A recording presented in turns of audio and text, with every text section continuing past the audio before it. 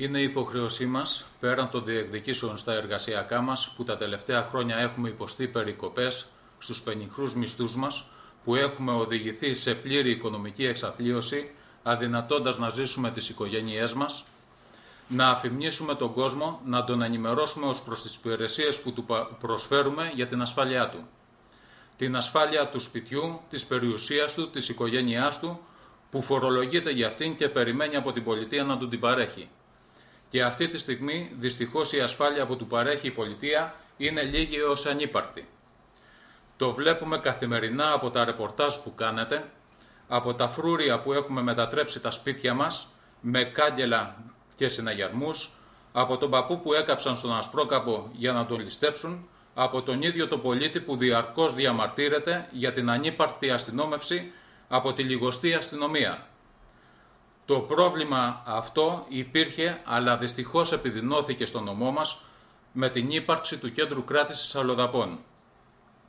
Το Κέντρο Κράτησης Αλλοδαπών, που δεν πληρεί τις προϋποθέσεις ασφαλείας και υγιεινής, αποδυνάμωσε για τη φύλαξή του όλα τα αστυνομικά τμήματα του νομού μας και γενικότερα της περιφέρειας Πελοποννήσου, παίρνοντας όλες τις αστυνομικές δυνάμεις, αφήνοντάς τα να λειτουργούν χωρίς περιπολίες πολλές φορές ή περιπολίες με έναν αστυνομικό, εκθέτοντας έτσι τον αστυνομικό και τον πολίτη σε μεγάλο κίνδυνο.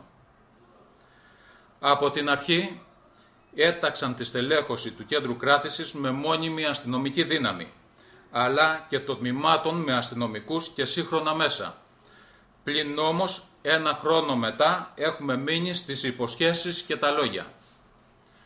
Τα τμήματα έμειναν χωρίς αστυνομικούς, με αυτοκίνητα χαλασμένα και σαράβαλα, οι περιοχές χωρίς αστυνόμευση και αστυνομικοί και πολίτες προσπαθούν να προφυλακτούν με δικά τους μέσα και τρόπους.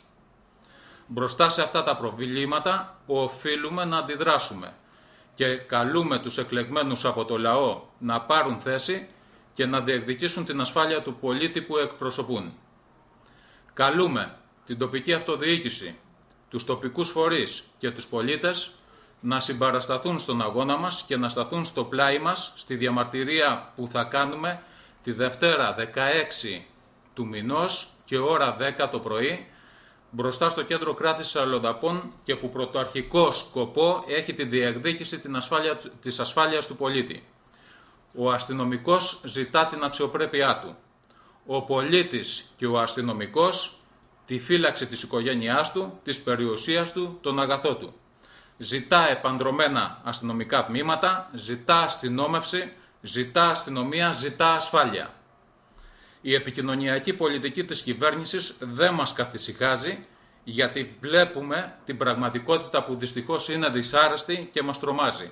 Ας ελπίσουμε πως όλα θα διορθωθούν προς το καλύτερο. Όλη τη Δευτέρα, 16 του μηνός και ώρα 10 το πρωί, μπροστά στο κέντρο κράτησης Αλλοδαπών.